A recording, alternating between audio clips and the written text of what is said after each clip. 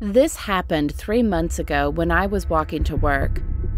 I saw a car stop by me and the window opened, and there was a guy with a cracked face and a very creepy smile in a limo car. And then he said to me, Oh, looks like you want to go to work.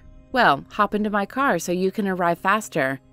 And then I said, No, thank you, and he left. At the office, when it was time to go home, I chose the elevator so I could get down to the main floor faster. When the elevator opened, I saw the guy I had seen earlier with the cracked face and creepy smile. He was in the elevator with the other employees, and then he said, Come on in, there's still room for you. And then I said, No, thank you, and instead chose the stairs. When I got downstairs, I heard a scream. So I quickly went down the rest of the stairs, and then I saw the elevator full of blood and dead bodies. I was scared and quickly called 911 and told them what happened. And then I realized that the guy with the cracked face was gone. After that incident happened, I never ever worked at that place again. What would have happened if I'd gone in the elevator or hopped in his car? At least I'm still alive. My name is Darshana, and I live in Oman.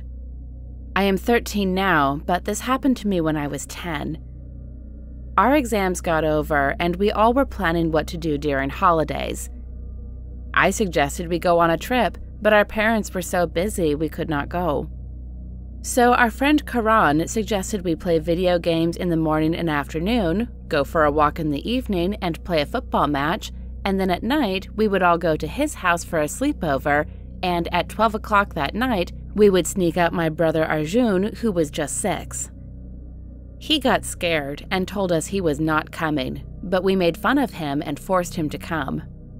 On the other hand, my friend Sahana was very excited.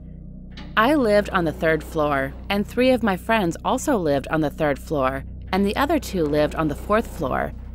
There was one lady on the fifth floor who hated us because we'd had a fight with her kid.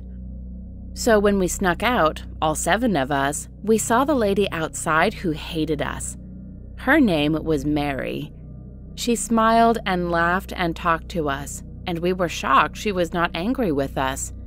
Then we told her goodbye and left. We did a few rounds in the park, playing, and got back home at 3 a.m. and slept. The next day, our friend Karan woke everyone, and we all went down to see what had happened. To our surprise, Mary was dead there. Her son said she had died around 9 p.m., and they found her this morning. She had died from falling off the balcony. The seven of us were in shock. Then who talked to us last night at midnight? After this incident, one year later on the same day, September 30th, we all got a text message from an unknown number. It said, I will come back. After this, we didn't sneak out of house at all anymore.